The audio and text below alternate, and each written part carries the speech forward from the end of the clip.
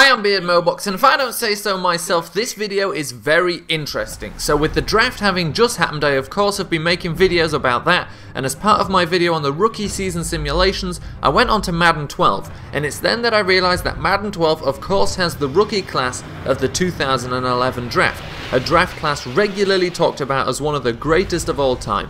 Not just because of the huge names taken in the first round such as JJ Watt, Von Miller, Cam Newton, AJ Green, Patrick Peterson, Julio Jones, and so on, but also because of the amazing amount of sleeper picks, some of whom have turned into the best players in their positions. The point of this though isn't to say haha look at how bad Madden is at knowing how good players actually are, because that's a bit unfair, so instead it's more of a look at how huge a leap these players have made compared to their original valuations. On top of rookies, I've added a few other notable players that have made huge leaps, and for context, overalls in the 60s basically mean the best this guy can be is a decent starter, low 70s as a solid starter, high 70s into low 80s which is pretty much the ceiling for rookie overalls means this guy can be big time. And if your overall is 50 something, Madden is just being kind and putting you in the game until you get cut.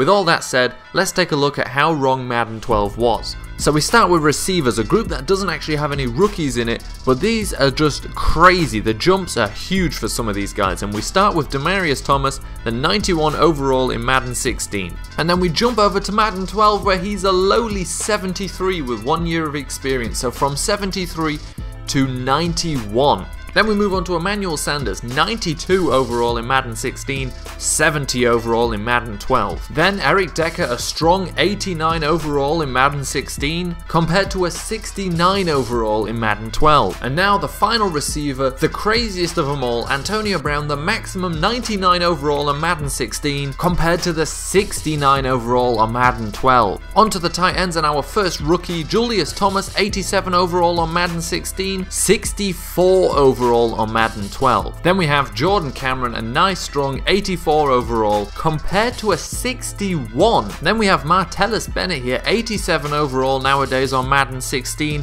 not so high on Madden 12, 73 overall, having played 3 years. Delanie Walker, nowadays one of the top tight ends on Madden, 94 overall, compared to 70 overall despite having played 5 years in the league. This one's great, everybody's favourite human highlight reel from last season, Gary Barnidge, 88 overall, and here he is hiding deep in the Panthers roster with a 68 overall. So we move on to left end, and this one's pretty crazy too. Michael Bennett, 97 overall, the highest rated player on the Seahawks roster, 72 overall here for the Tampa Bay Buccaneers. Everson Griffen here with a nice 91 rating compared to this 67.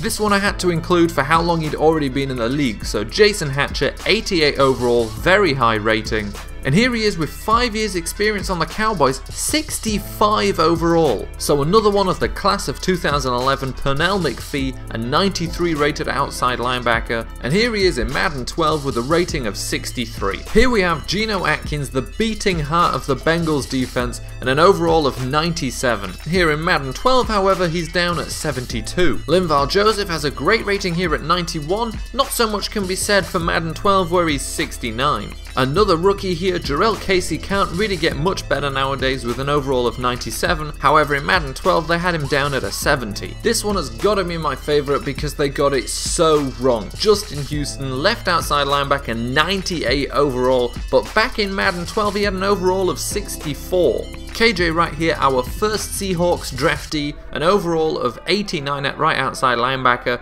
but back in Madden 12 he was at a 62. I like this one a lot, mainly just because the guy's pretty much unrecognizable. DeAndre Levy here, 92 overall, but back in Madden 12 and looking very fresh-faced 77 overall. This jump isn't too crazy, but NaVorro Bowman before his injury used to get rated in the mid-90s, so here he is at 88 in Madden 16, but back in Madden 12 as 73 overall. This one is the best one, no doubt. Richard Sherman 93 overall, but back in Madden 12, 52.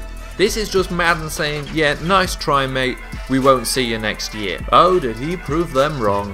Here we have Reshad Jones, the best strong safety in Madden 16, 97 overall. But back in Madden 12 it wasn't quite as cushy for him, getting rated down with a 70 overall. But remember, if you think you've got it bad, somebody's got it worse. Kam Chancellor, 95 overall in Madden 16, but back in Madden 12 they disrespected him with a 69 overall. And that does it for this video. Thanks for watching. Like I said at the start, obviously they rate rookies and stuff lower than they actually are because they don't really know. They're always going to be rated higher on later games, but you can tell by what the rating is what EA expects of them. And Richard Sherman's 52 was a great example of that. They expected nothing, and now he's 93.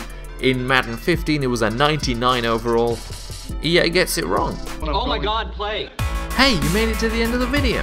If you haven't seen the previous video yet, you can do that by clicking here. If you enjoyed this video and want to see more, you can do that by clicking here and subscribing. New videos every Friday and Sunday, and sometimes Wednesdays too.